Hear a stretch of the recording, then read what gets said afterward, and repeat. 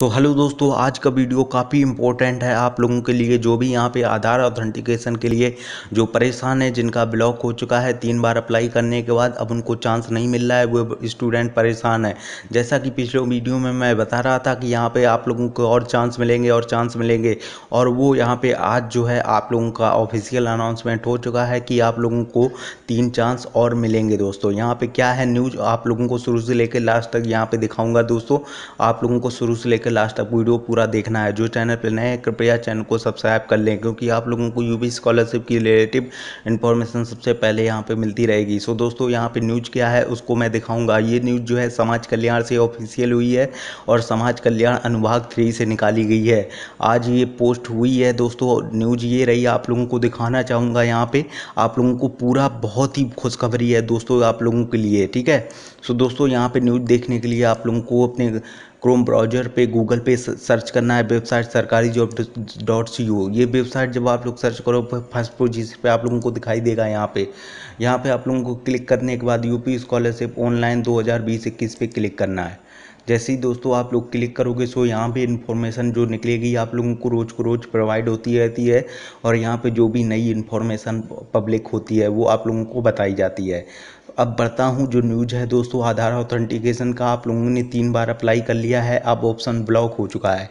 ये दोस्तों, आज की न्यूज़ है और ये न्यूज़ समाज कल्याण से पब्लिक हुई है। दोस्तों न्यूज़ ये रही, जैसा कि आप लोग यहाँ पे दिखा दूँ, ये देख सकते हो, राकेश कुमार सचान, अनु सचिव, उत्तर प्रदेश शासन, सेवा में निदेशक समाज कल्याण विभाग, उत्तर प्रदेश लखनऊ, समाज कल्याण विभाग अनुभाग थ्री और विषय है वित्तीय वर्ष में 2020-21 में पूर्व दशम कक्षा नौ या दस एवं दसमोत्तर छात्रवृत्ति एवं शुल्क प्रतिपूर्ति के ऑनलाइन आवेदन पत्रों में आधार प्रमाणीकरण हेतु निर्धारित तीन बार से अधिक सुविधा प्रदान किए जाने के संबंध में है। जो यहाँ पे तीन बार सुविधा ले चुके हैं, उनका यहाँ पे जो ब्लॉक हो चुका है, उनके लिए है दोस्तों, यहाँ पे जैसा कि आप लोग देख सकते हो।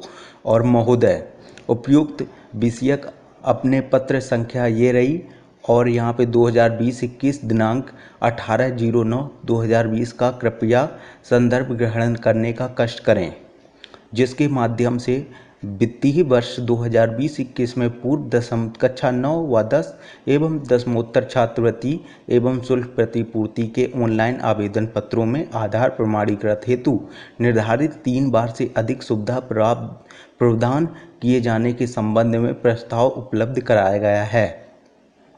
दूसरा ऑप्शन, इस संबंध में मुझे यह कहने का निर्देश हुआ है कि वित्तीय वर्ष 2020-21 में पूर्व दसम कक्षा नौ व दस एवं दसमोत्तर छात्रवृत्ति एवं शुल्क प्रतिपूर्ति के ऑनलाइन आवेदन पत्रों में आधार प्रमाणीकृत हेतु पूर्व पूर्व से निर्धारित तीन अवसरों के अतिरिक्त तीन अन्य अवसरों की सुविधा प्रदान सुविधा छात्रों को प्रदान की जाती है।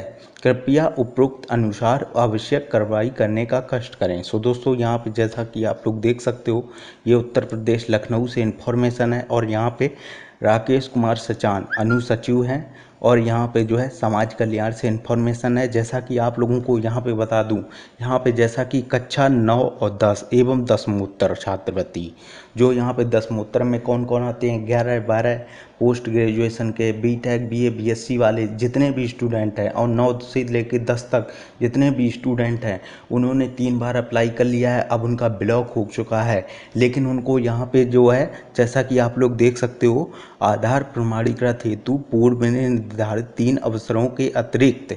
यहाँ पे जो तीन अवसर आप लोगों को मिल रहे थे, अतिरिक्त तीन अन्य अवसरों की सुविधा प्रदान करने की दी जाती है आप लोगों को। यहाँ पर जैसा कि सुविधा जो है छात्रों को प्रदान की जाती है, तीन अन्य चांस और मिलेंगे आप लोगों ने। क्योंकि आपका तीन बार तो ब्लॉक हो चुका है, लेकिन आप लोगों को अब जो तीन चांस मिलेंगे ना, उनको आप लोगों को बहुत सही से अपना आधार ऑथेंटिकेशन डालना, तब आप लोगों को जो है वेरीफाई कर लेना। नहीं तो अब जो है आप लोगों ने गलती कर दी तो आप लोगों का बहुत ही दिक्कत हो जाएगी, क्योंकि आप लोगों को तीन चांस मिल रहे थे, अब चांस हो गए छः ठीक है, आपने तीन अप्लाई कर लिए होंगे, लेकिन अब तीन जो अप्लाई करोगे, उसमें आप लोगों को देख नहीं लेना कि कौन सा मेरा मोबाइल नंबर आधार से लिंक है, किसमें ओ जा रहा है, कौन सा ओ टी भरूँ दोस्तों।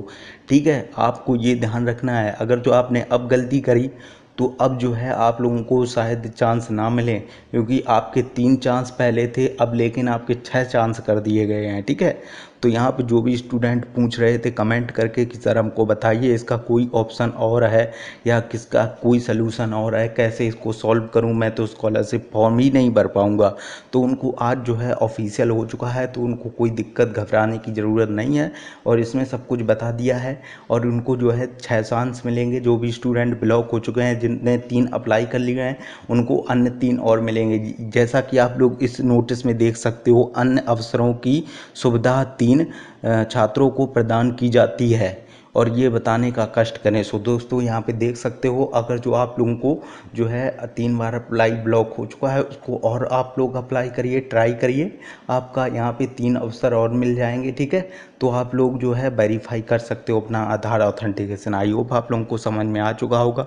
तो ये खुशखबरी, पूर्ण वीडियो है पूरा।